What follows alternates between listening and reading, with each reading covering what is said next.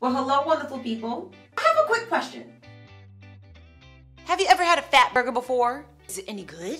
So my twin sister tried a Fatburger the other day and she said it was really good. So you know what? I'm gonna go out and I'm gonna try a Fatburger because I never had it before and I wanna see if it really does taste good.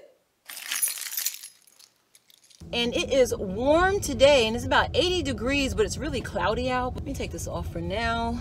And let's get a Fatburger. Now, the interesting thing is I have lived in California since 2006 and I have never tried a Fatburger. I tried In-N-Out. Don't see the hype about In-N-Out. Not a fan of In-N-Out because you know a McDonald's is always close by. As a matter of fact, it's over there.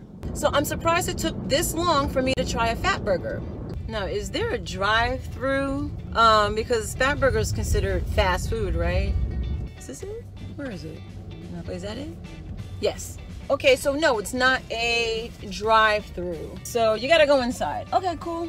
All right, so you gotta go inside. So let me put on my face mask. Which is the entrance? Is that it?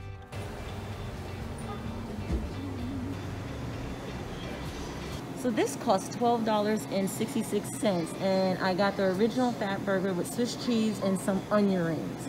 And that didn't even come with a drink. A drink was $2.85 for a medium. I said, you know what, forget it. I have water in the car, I'll just drink that. I'll save some calories. So I'll just wait outside until they call my name. $12.66, damn. I could have gotten McDonald's and at least that came with a drink. But, but I'm trying Fatburger, I'm trying Fatburger. Let me take a selfie while I wait. I am still waiting. Would I have had my food at McDonald's by now. Ooh, it's done. Coming.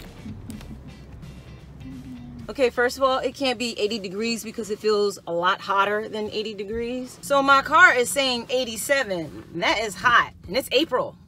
All right, so I am turning into a parking lot to eat my food. Have you ever done that? Pulled into a parking lot to eat your food because you know you're about to pig out? This is like an unboxing video. So here are the onion rings, right? Oh, onion rings. I hope she gave me ketchup. And we're about to pull out the burger. Oh! All right, so I moved the car because there was too much light coming over here. And I just, yeah, to block out some of the light. Much better, much better. So I have the burger. Got my napkins everywhere. My mouth is watering because I'm hungry. I like the packaging. This is nice. It's like the In-N-Out. They give you like the wrapping and stuff, but this is Fatburger. So I'm not gonna put ketchup on it because I really don't wanna make a mess. So let's take a bite out of it. Aw. Now hold on now. Hold on. Oh my goodness. Well, damn. You know what? I forgot to get the water.